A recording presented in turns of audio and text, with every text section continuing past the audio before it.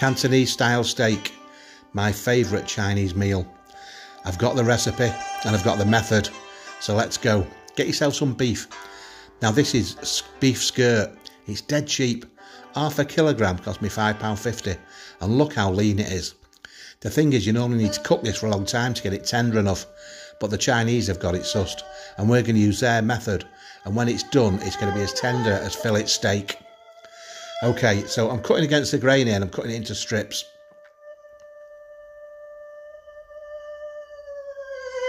And I'm placing them all into a bowl ready to have the secret ingredient that is going to tenderize it. And it's not really a secret, I'm going to tell you. Right, bicarbonate of soda. So I'm going to put two heaps teaspoons in. And then to help spread it across the beef, I'm going to put some rapes, rapeseed oil in. Now you can use any neutral oil, just one that's not doesn't have too much flavour with it. Now get your hand in there, start squidging it about. You want to make sure it covers every bit of beef, and then you need to leave it to do its work. Take about 25 minutes to half an hour. So until then, boom. Now we're going to wash it back off.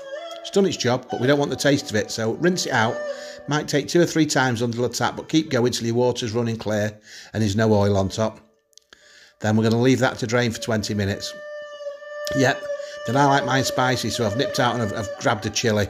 Um, it's up to you if you use chilli or not. Now the marinade, a bit of garlic powder. I'm putting a teaspoon in. I like garlic. If you like it a lot, you can put two teaspoons in. If you're a vampire, don't bother. That'd be suicide. Right, soy sauce, light soy sauce, if it'll come out. A couple of teaspoons of that. Dark soy sauce, more than a couple of teaspoons of that. I like dark soy sauce, and it's um, it's got a really nice flavour as well. Secret ingredient two is the monosodium glutamate. MSG, give it a sprinkle, and then a bit of corn flour. That'll help thicken it up. If you've got no corn flour, potato starch should do the same trick. Then get your hand in and you monkey it all around again. Now, just make sure every bit of steak gets a coating.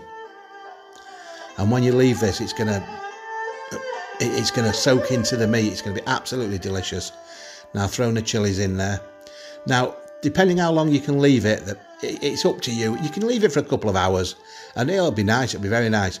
But if you can leave it overnight, leave it overnight. Well, the next stage is cooking it. So I've left mine overnight and I've got my pan. I've used a neutral oil again, got the oil really hot so the beef is sizzling as soon as it gets in the pan. Then you fertile it around a bit with your spoon. Make sure it all gets browned and then you can start adding your veg vegetables to the dish. Whichever vegetables you like, but I would, I would say definitely put onion in there to get the flavour we want. But after that, it's entirely up to you. I mean, the selection I've used here, you'll see I've got some mushrooms. Um, these are just button mushrooms. If you can get your shiitake mushrooms or uh, some kind of oyster mushroom, it'll look a bit more authentic. But I, I like the taste of these. There's some cashew nuts there that are toasted. I just got normal cashew nuts from the supermarket and stuck them in the air fryer for five minutes. Worked fantastically. A few red peppers. A few bean sprouts. Now it's starting to um, get a bit dry now the pan so I'm going to put a splash more of the light and the dark soy sauce. I'm also going to put a bit of um, hoisin sauce in because I do like it and it adds, adds a bit of depth. Uh, I used teriyaki last time. This time I thought I'd give this a whirl so I'll let you know but uh, it should work nicely. Okay now it's cooking and all the juices are flowing I'm going to put another little bit of MSG in and another secret ingredient I'm going to put a teaspoon of sugar across it. Now this will make it all really sticky and gooey like it is in the Chinese restaurant. It's what they do. If you could smell this, it's like the smell that comes out of a Chinese kitchen. You know, you're in a restaurant and something's cooking. And the last veggies is spring onions. I always put them in last because I like them crunchy. So, here's a finished dish. I've put it into me um, onto my hot skillet. Again, even more authentic restaurant like. Um, but how tender is that beef and what's the flavour like? Big thick piece there. Watch this. It just fell into my mouth. It, it, it's the most tender beef you're ever going to eat. It is absolutely fantastic.